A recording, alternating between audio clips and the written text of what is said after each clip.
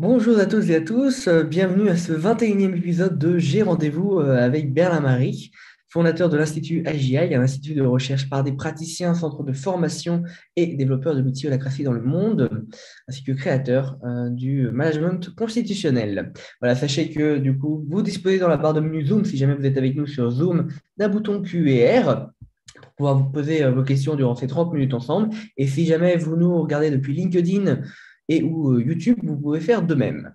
Alors, le thème d'aujourd'hui fait suite à une tribune que tu as écrite, euh, Bernard Marais, qui est publiée dans Allianz Magazine. Holacracy 5.0, 7 super pouvoirs pour mieux engager euh, les collaborateurs.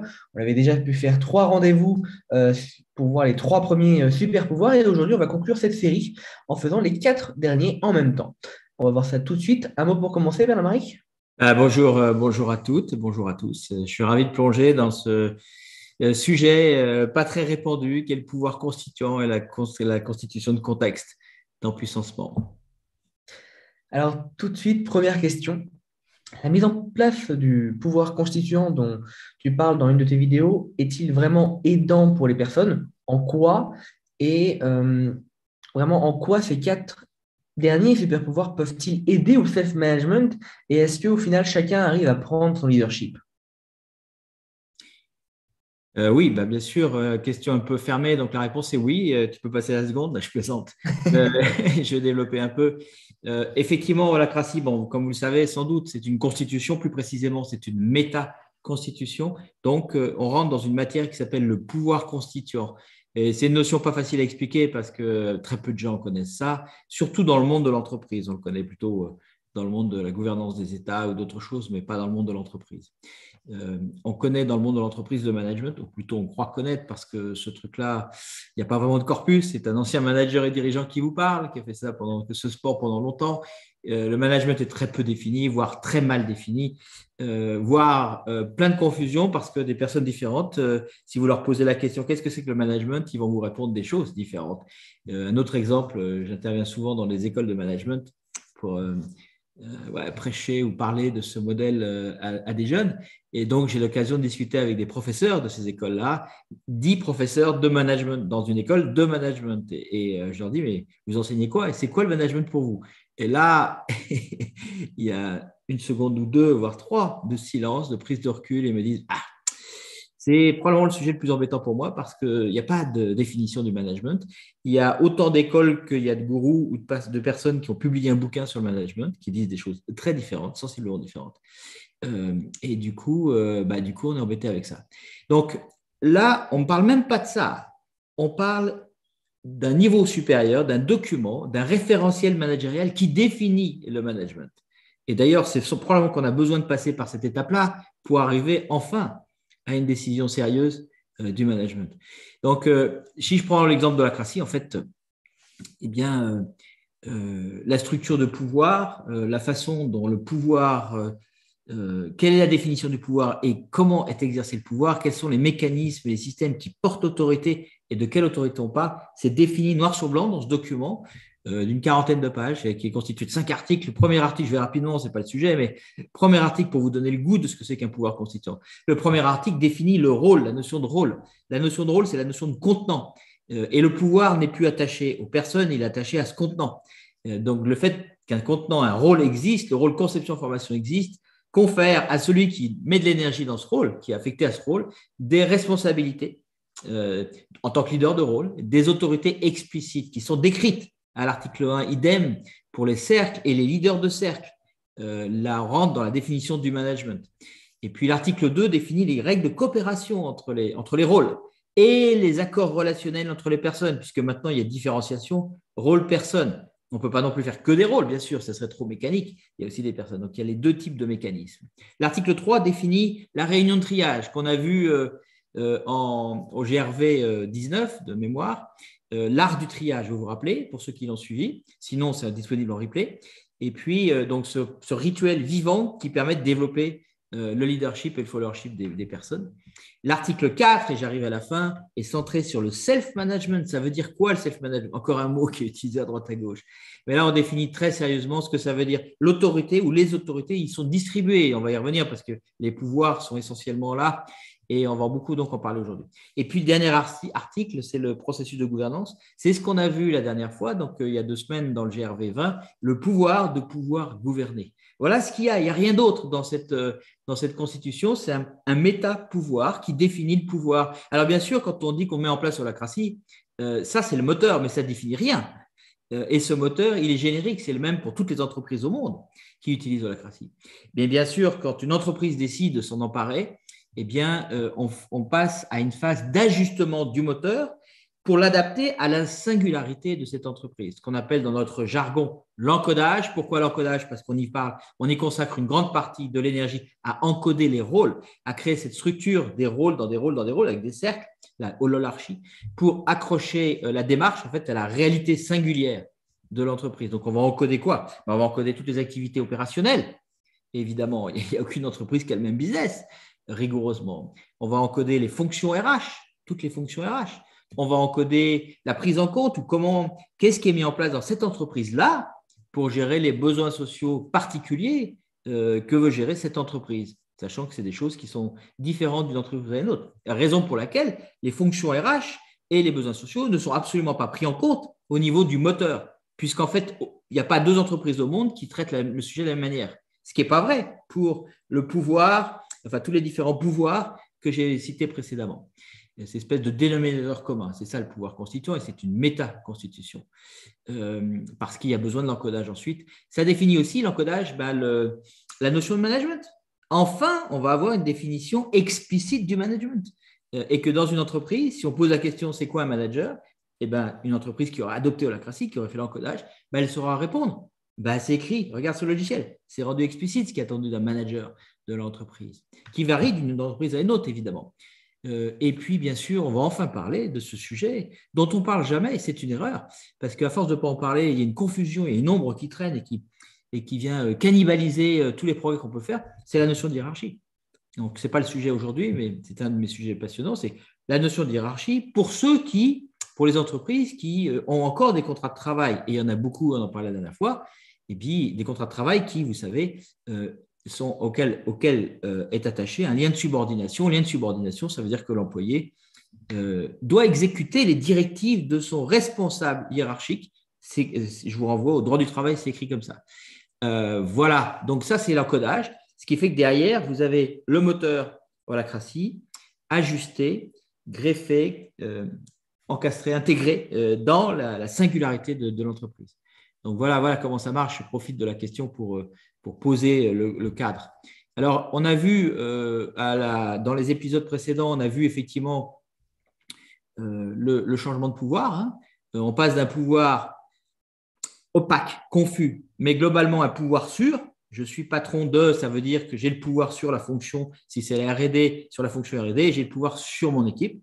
et ce n'est pas écrit noir sur blanc, mais c'est comme ça que c'est vécu dans les modèles mentaux ou les croyances collectives.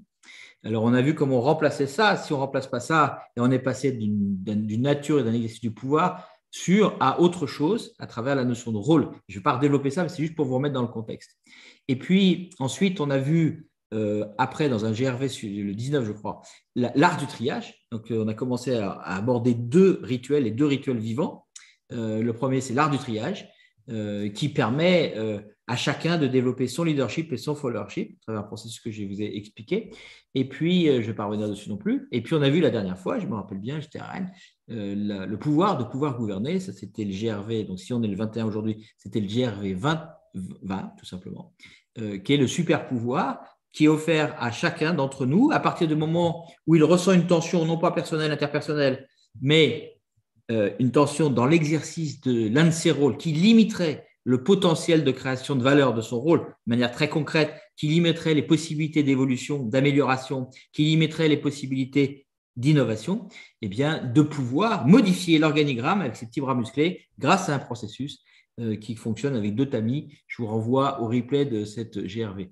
Et du coup, il nous reste dans cette constitution, en plus des trois pouvoirs que je viens de rapidement survoler, quatre super pouvoirs, euh, quatre super pouvoirs qui sont des mécanismes pour permettre euh, et protégé. En fait, euh, ça se base euh, sur la règle des 3 P. Dans le monde des RH et du coaching, on est très familier avec cette système de 3 P. Si vous voulez augmenter ou contribuer à ou accompagner des personnes pour qu'elles puissent augmenter leur puissance de création de valeur, avec un S toujours valeur, eh bien, euh, c'est assez simple finalement. Si vous augmentez leur sécurité, c'est-à-dire que vous créez des cadres de protection supplémentaires et des permissions explicites supplémentaires, le premier P, protection, le deuxième P, permission, ça donne le troisième P, puissance. Donc, c'est un mécanisme bien, bien connu qui marche bien.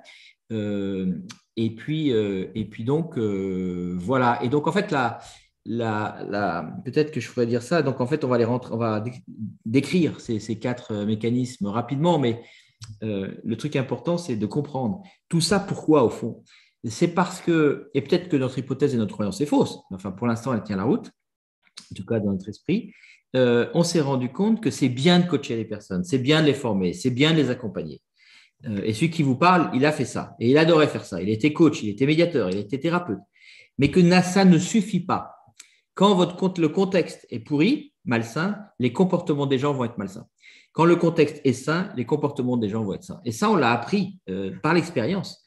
Euh, et donc, du coup, quand on sait ça, et je l'ai vécu parce qu'à chaque fois que j'accompagnais des personnes, eh bien, je faisais un pas en avant, ou les personnes faisaient un ou deux pas en avant parce que je n'étais pas si mauvais que ça, euh, lorsque, sous mon accompagnement. Et puis, ils revenaient un mois plus tard et ils avaient tout perdu, voire ils avaient, perdu, ils régressé. Pourquoi? Parce que dans ce mois-là, ben, j'étais plus avec la personne, heureusement, pas Et euh, cette personne, eh ben, elle a retrouvé son contexte familial, qui a des bons côtés, mais qui a des côtés, qui peut avoir des côtés hyper malsains.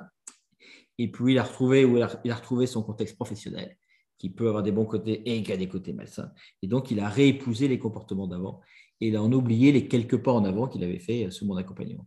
Donc c'est important de travailler le contexte. C'est ce que j'appelle le contexte travailler dans toute entreprise qui se respecte, on devrait commencer par là. Travailler le contexte, ça veut dire travailler la structure de pouvoir, mettre en place des mécanismes pour changer les comportements des gens, pour changer les environnements, mécanismes explicites qui protègent et qui permettent de manière à avoir un contexte d'empuissancement, de la même manière que euh, dans la, en permaculture, c'est un, de mes fils qui m'a appris ça, mon fils aîné, en permaculture, euh, bien en fait, c'est pas la peine de passer son temps à soigner les fruits et les légumes, ça sert à rien il vaut mieux passer son temps, et c'était son cas, 95% du temps qu'il passait, il le passait à soigner la terre. Et c'est parce que la terre est saine que les fruits et les légumes seront beaux et sains. Voilà, c'est démontré, c'est QFD. Sauf que cette approche-là, je ne l'ai jamais vue euh, prise en entreprise. Donc c'est pour ça qu'on s'y est collé. On s'est dit, il bah, faut bien commencer puisque ce n'est pas développé. On va le faire et c'est ce qu'on a fait depuis 15 ans.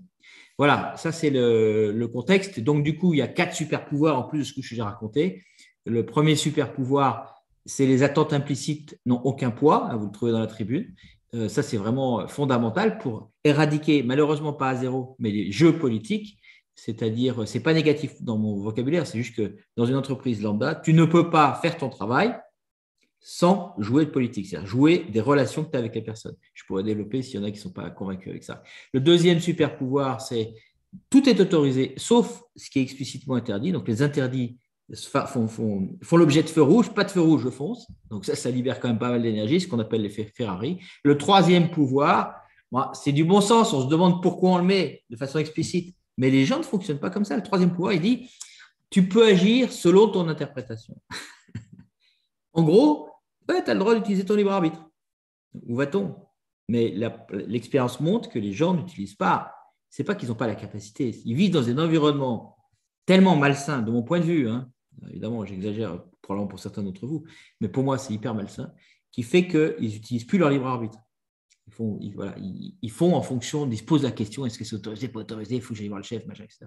Et le dernier super pouvoir, donc il est, eh bien, euh, bien sûr, euh, euh, met en place des rôles, et donc les gens pourraient, y compris ceux qui pratiquent holacratie, et puis certains d'entre vous, pourraient se dire oh là là, on est enfermé dans des rôles Euh, eh bien non, pas du tout, parce que, et c'est prévu, il y a un processus pour sortir des processus, ce qui est ça, on est dans le vivant, et donc il y a un super pouvoir qui dit de manière explicite, tu peux prendre des initiatives en dehors de tes rôles. Il n'y aurait pas besoin de le dire, mais comme il y a le risque que certains réagissent, comme certains d'entre vous ont sûrement réagi quand je dis que tout est basé sur des rôles, eh bien on met un, pouvoir explicite, une protection, une permission supplémentaire pour dire, bah si ça fait sens pour toi, et que ce n'est pas dans, tes rôles, mais que tu penses que c'est important pour l'entreprise, bah fais-le.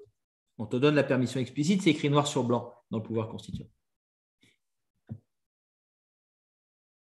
Voilà pour démarrer.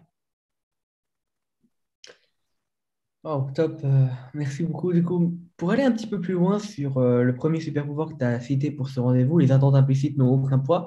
Juste, qu'est-ce que ça veut dire? Est-ce que c'est pas utopique en fait comme comportement dans une entreprise? Et est-ce que euh, tu pourrais avoir, nous partager des cas concrets d'attitude de patron ou justement de manager vis-à-vis de collaborateurs avec ce super pouvoir? Avec plaisir. Bien sûr, c'est utopique. Enfin, y a toutes les, innovations sont utopiques. Donc, euh, moi, je, suis dans je me suis mis dans le champ d'innovation. Donc, forcément, on va me traiter d'utopique. C'est pas grave. Depuis le début, c'est toujours comme ça. Sauf que maintenant, je sors 140 entreprises qu'on a accompagnées dans lesquelles c'est plus utopique. Donc, ça va être difficile pour les détracteurs les sceptiques de pouvoir challenger aussi rapidement que ça parce qu'on a des proof of concept, pour parler anglais deux minutes. Donc, c'est pas utopique. Ça existe déjà, trop tard.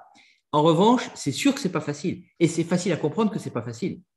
Parce que euh, quand tu es habitué pendant des années, des, dizaines d'années, voire plus, euh, à faire en fonction de ce que tu comprends, de ce que tu crois qui va être bien par rapport à ton chef, donc à faire dans l'implicite, ce que j'appelle la politique, c'est de la politique. C'est pas digne de l'être humain, mais on ne peut pas faire autrement euh, dans le modèle actuel.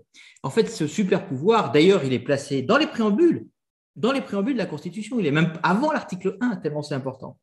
Ça dit, et c'est la base, euh, et c'est la base, comment vous expliquez ça? C'est la base parce que, euh, et ça s'appuie aussi sur une théorie, euh, on n'avait pas besoin de ça, mais Elliot Jacks, qui est un grand théoricien des organisations, a démontré, il a fait des travaux de recherche sérieux que vous pouvez consulter, qui démontrent que la plus grosse source de souffrance dans les entreprises, quand je dis entreprise, c'est organisation au sens large. Si vous avez une scope, vous rentrez dedans. Hein.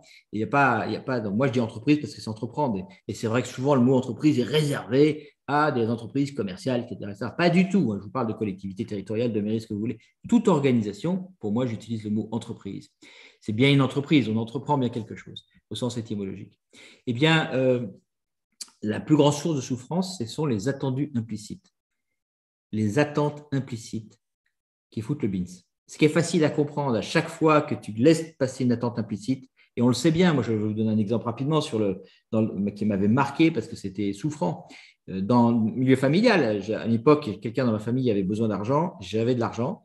Donc, naturellement, sinon, à quoi ça sert la famille? On peut se poser la question, parce qu'il y a aussi pas mal de côtés malsains. Eh bien, je lui ai prêté de l'argent. Évidemment, on est en famille, donc on se parle, on se comprend, on top là, et puis c'est parti. Sauf que les remboursements intervenaient trois ans plus tard, et quand on a commencé les remboursements, on s'est rendu compte qu'on n'avait pas compris la même chose. Pourquoi? Parce qu'on avait rendu les choses on avait laissé les choses implicites trois ans plus tôt. Et ça, tu le payes très cher. Maintenant, regardez dans vos vies respectives, quel que soit le terrain de jeu, familial ou ailleurs, couple ou tout ce que vous voulez, professionnel, à chaque fois que tu laisses une zone d'ombre, une ambiguïté, c'est-à-dire que tu ne passes pas à l'écrit, ou alors tu te surestimes, à chaque fois que tu te surestimes inconsciemment, parce que tu te dis non, ce n'est pas la peine d'écrire, et, bien, et que tu crois que l'autre a compris la même chose que toi, tu te plantes. Et ça fait très mal. Et ça fait très, très mal. Donc, en fait, puisque c'est vrai, eh bien, en holacratie, on commence par les attentes implicites n'ont aucun poids. Euh, et ça veut dire quoi pour répondre à ta question? Ça veut dire que euh, il est plus possible à ton ancien boss, par exemple, de venir t'imposer quelque chose qui ne soit pas explicite. Eh oui.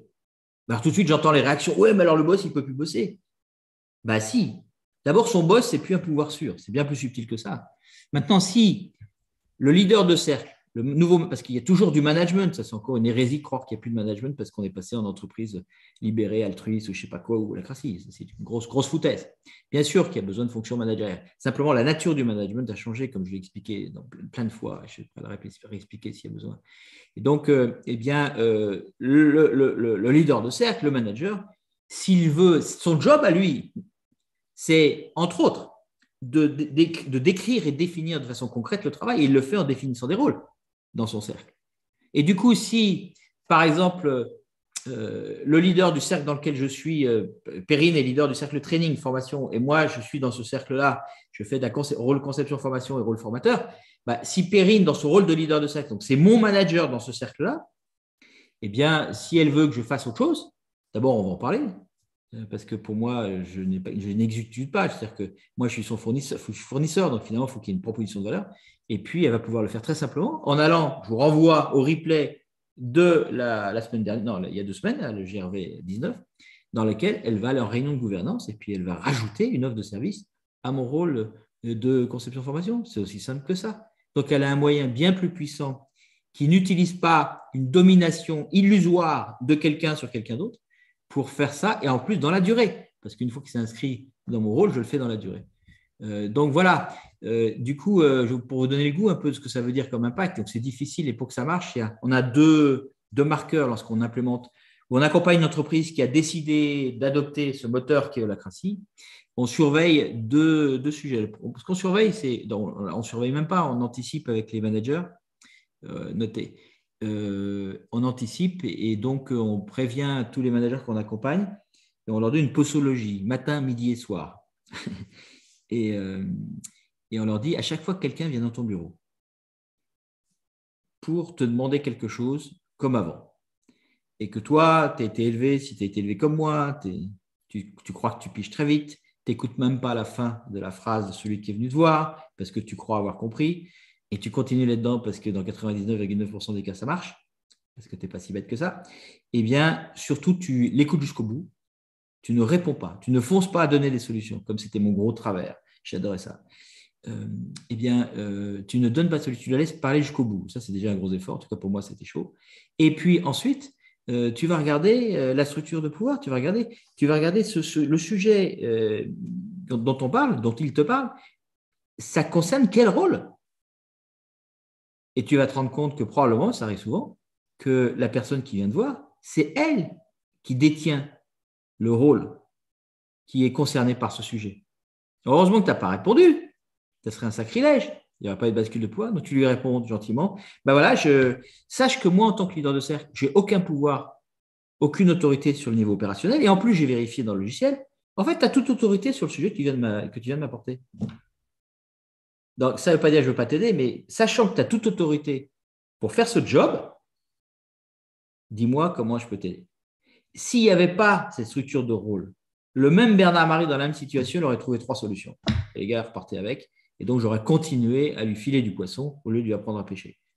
Euh, voilà, ça, c'est ça que ça permet. La deuxième chose, c'est que, euh, imagine que euh, je sois le patron ou l'ancien manager et que je continue allez voir, je l'ai fait 100 fois avec Margot, euh, qui est ma fille, mais qui est restée 10 ans avec nous. Je l'ai fait 100 fois avec elle et je suis allé la voir et puis je dis, voilà, euh, sur ce sujet-là, je pense qu'il faudrait faire comme ça.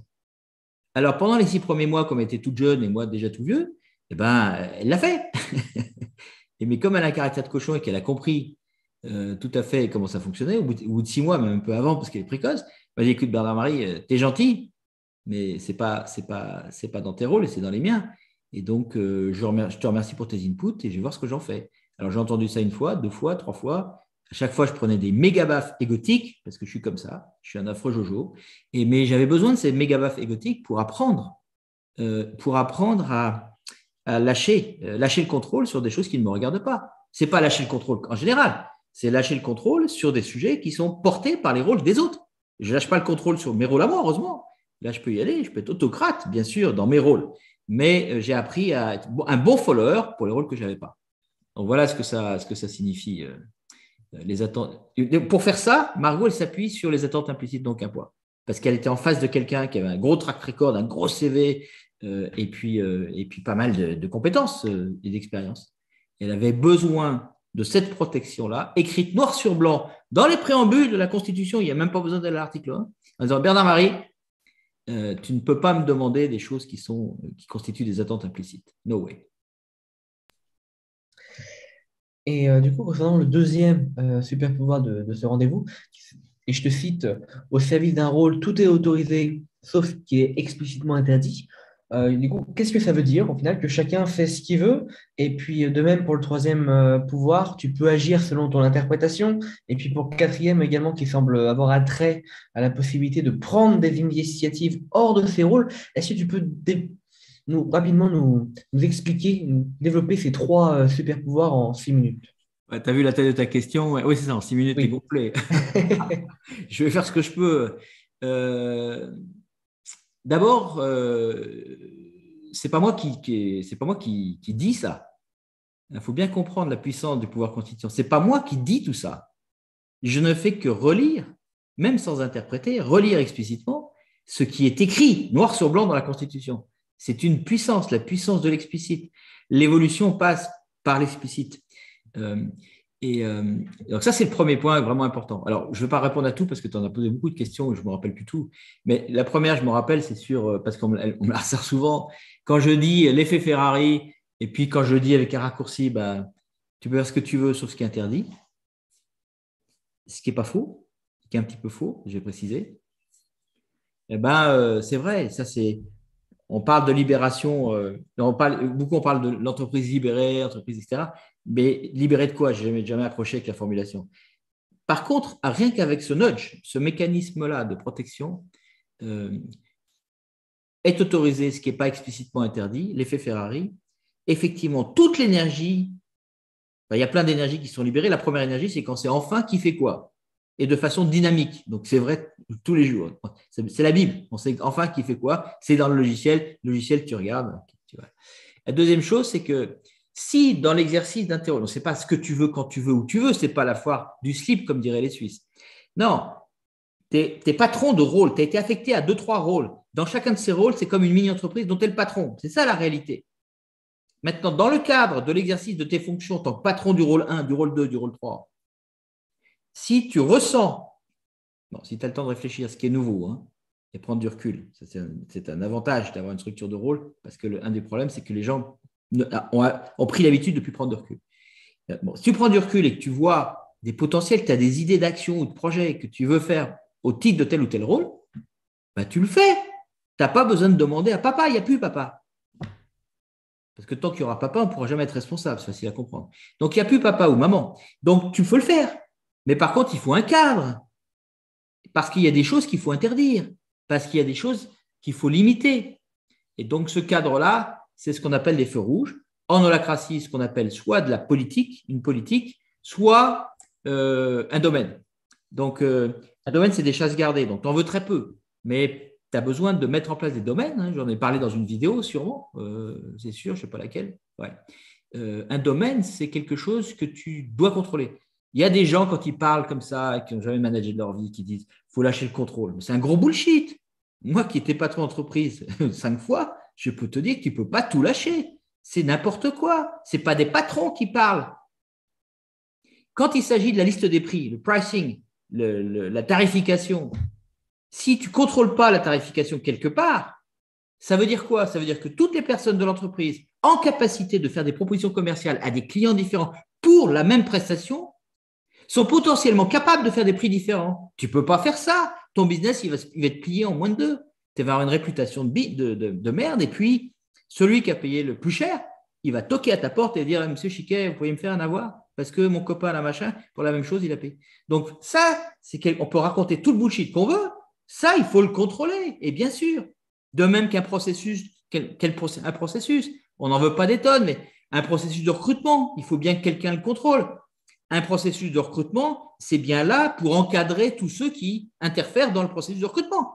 Donc, si le processus de recrutement il peut être bougé par n'importe qui, il n'y a plus de processus de recrutement. Le process honneur, qu'on appelait ça autrefois, ben, c'est un domaine, évidemment. Donc voilà, ça, ça fait partie des interdits. C'est-à-dire que tu ne peux pas. Si moi, je sens qu'il faudrait modifier le processus de recrutement, ben, heureusement, je ne peux pas le modifier. Si je veux vraiment, j'ai des bonnes raisons pour, ben, je vais faire un pitch à celui qui a le rôle, qui lui-même a le domaine sur le processus de recrutement. Euh, c'est ça. Et puis, euh, il y a la politique, deux mots là, en une minute, ça, je me fais ça aussi court, mais euh, pourquoi pas un petit challenge? Il y a la politique. Qu'est-ce que je pourrais prendre? Un exemple de politique, c'est pour engrammer les pratiques business, les bonnes pratiques business qui généralement sont détenues par les managers ou les dirigeants pour les soulager, pour pas qu'ils aient rappelé à tout le monde avec un management très physique, Eh, tu penses à faire ci, tu penses à... Non, par exemple, dans une entreprise qui faisait beaucoup de campagnes marketing, ils avaient des méga problèmes parce que euh, le service, le site web, enfin la personne qui était en charge du site web, planifiait de la maintenance préventive pour des upgrades je ne sais pas quoi, on s'en fout. Euh, et une fois, c'est tombé pendant les campagnes de marketing, ça a foutu le beans. Bon, parce que le manager ne l'avait pas vu, etc., etc. Dans le modèle conventionnel, le manager va rappeler, euh, n'oublie pas, hein, il y a une campagne marketing, etc. Ça va lui bouffer son temps, il faut qu'il s'en rappelle lui-même, donc il est payé à se rappeler des trucs qui pourraient être écrits. Enfin, c'est hallucinant quand même euh, le côté préhistorique du management de, conventionnel, mais d'aujourd'hui, parce que la n'est pas encore là, euh, suffisamment, c'est pas encore suffisamment développé. Donc du coup, tu crées ça, tu crées une politique, tu dis, camarade, là tu parles au manager, je vais te décharger, je vais t'expliquer comment tu peux mettre un post-it sur le frigo. tu crées une politique qui dit euh, toute personne en capacité de planifier des, des, périodes de maintenance de site web ne peut pas le faire durant les campagnes marketing. Point barre. Ça, c'est un interdit. Et donc, si toi, tu veux planifier, tu veux planifier une maintenance, parce que c'est bien dans ton rôle, etc., tu vas regarder, tu vas voir qu'il y a une politique, c'est un feu rouge. Donc voilà, je vais donner les deux feux rouges, il n'y en a pas trois. Deux feux rouges possibles. Évidemment que ce soit les politiques et les domaines, elles sont, euh, on ne les met pas par, par défaut à, partir du mental, on les prend à partir d'un vrai savoir du manager et puis éventuellement d'accidents qui arriveraient, qui ne seraient plus des erreurs, mais des apprentissages pour la suite. Voilà. Merci beaucoup euh, Bernard-Marie, merci à tous pour votre participation et euh, pour vos questions. Voilà, sachez que nous organisons régulièrement ces rendez-vous qui ont lieu toutes les deux semaines, le jeudi matin de 8h30 à 9h. C'est notre petite routine avec euh, pour thème pour le, prochain rendez-vous avec Bernard-Marie, sortir de nos croyances limitantes. Merci infiniment Bernard-Marie. Je te propose de conclure ce rendez-vous en quelques mots. Euh, super, super. C'est toujours euh, trop court, mais en même temps, voilà, ça vous donne le goût. Vous aurez le replay et puis on a écrit pas mal de choses sur le sujet. Si vous voulez en savoir plus, n'hésitez pas à nous contacter. Merci. Excellente journée à vous tous euh, et au plaisir. Et donc, à dans deux semaines.